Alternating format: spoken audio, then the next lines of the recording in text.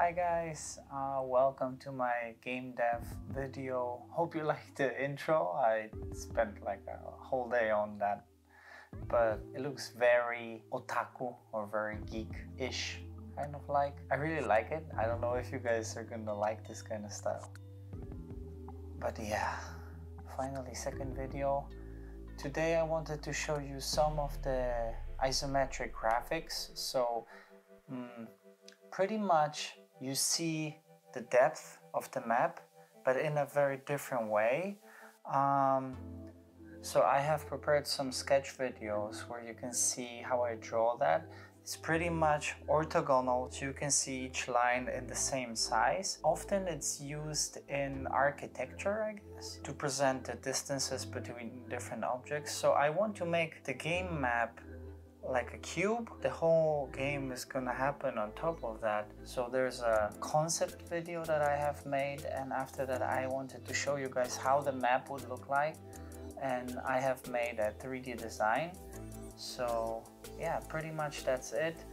If you look at it, the first thing is the sketch. I use a program called Alchemy, which kind of pushes you to sketch a lot upon the, the image that you already have. So there is no back button.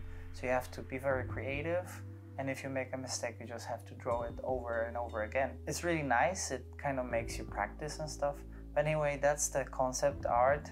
I didn't tell you before, the game that I want to make is a fishing game. And the character will have to go to different water uh, places like a river or like a pond kind of place or the sea and there will be different times and different uh, locations where you can catch different fish. If you look at the graphics that I made in the 3D program, it's very cubish and low poly, so you can see the flat surfaces. I really like this kind of low poly game design. Don't know, it just makes me feel kind of nice. It looks kind of cute and I want to aim for a really vivid colors in the game so you will feel warmth you'll feel the cold weather you'll feel the rainy weather there will be moving parts.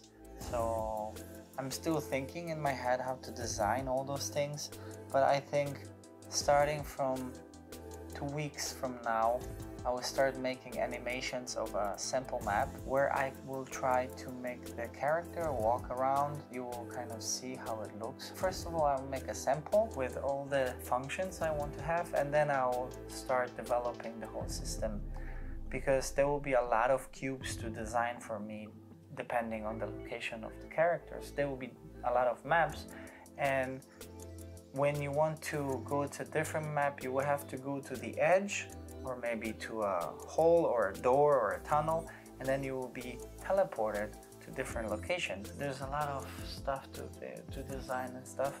There's the 3D graphics right in the back. Hope you like it and hope you kind of understand how the isometric uh, graphic feels and looks like. I want to make the color of the background also change depending on the mood of the game so now it's kind of bluish. I want to make it different colors depending on the time of the day and depending on maybe on the character or the season in the game. Maybe next week I'll try to draw a character design and show you guys what I was thinking about and, and yeah, pretty much today I'm showing you how I'm planning to design the game world or the map. So this is pretty much the map of the game.